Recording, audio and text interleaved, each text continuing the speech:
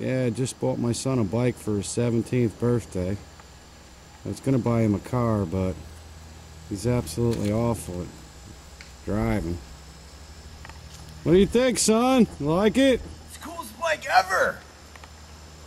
Be careful now.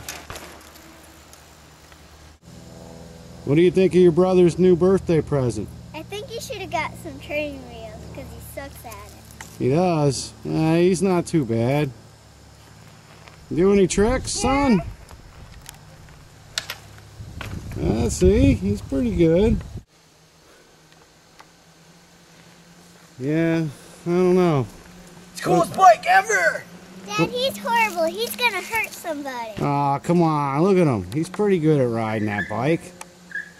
Well, oh, gee, oh, well, oh, hey, be careful. You're gonna hurt the bike.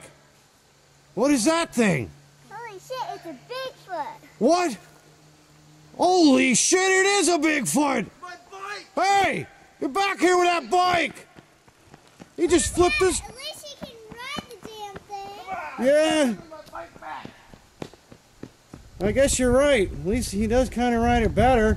Hey, it ain't worth it. Let him go. It's okay. We'll get you a car. Not. That was unbelievable.